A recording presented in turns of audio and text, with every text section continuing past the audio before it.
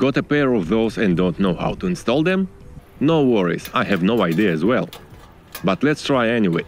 We'll need a wiring harness, it comes with battery connector, relay, switch and a fuse. All other things we'll need to solder by ourselves. We'll use waterproof connectors, since the bars are exposed to elements. And we'll need a T-shaped connector to connect two wires into one. Also we'll need soldering heat shrinks and regular heat shrinks. Last but not least is the switch. Let's start with soldering connectors to the bars. Put on the soldering and regular heat shrinks on the cables. Blue wire goes with black and red goes with brown. Apply heat to the first soldering shrink, then another, and regular heat shrink on top of them.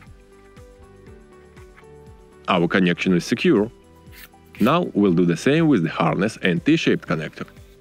Black to blue, red to brown.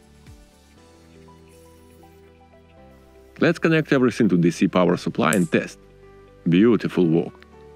Our LEDs will be exposed to elements and jealous neighbor eyes. We need to make sure that everything is waterproof. Let's submerge it in a bucket of water.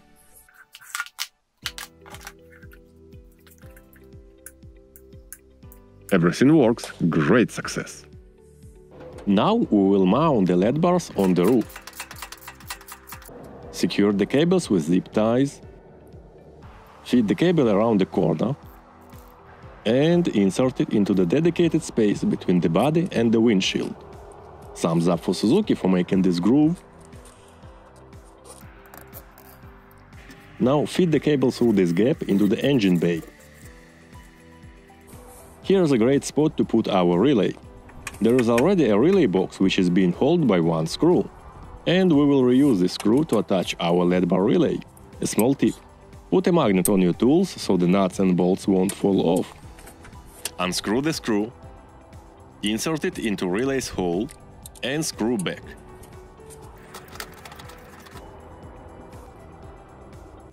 And now the trickiest part. How to move the switch from engine bay to driver's compartment.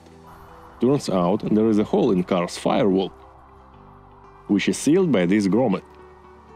Unseal the grommet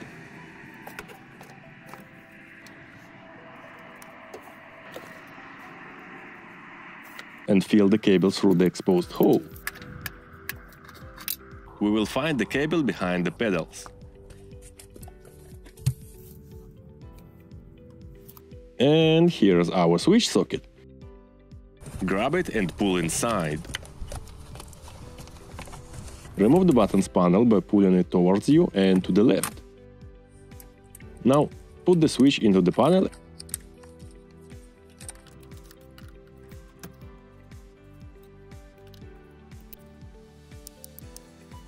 Insert the switch plug into the socket that we pulled in earlier.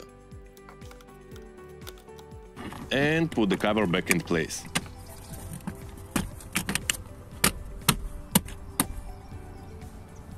Reattach the grommet. And the final step is to connect the LED bars to car's battery. Positive wire to positive terminal and negative wire to negative terminal, red to red black to black.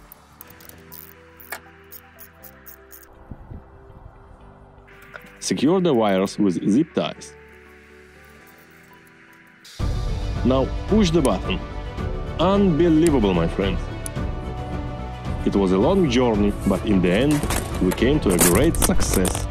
Outstanding job.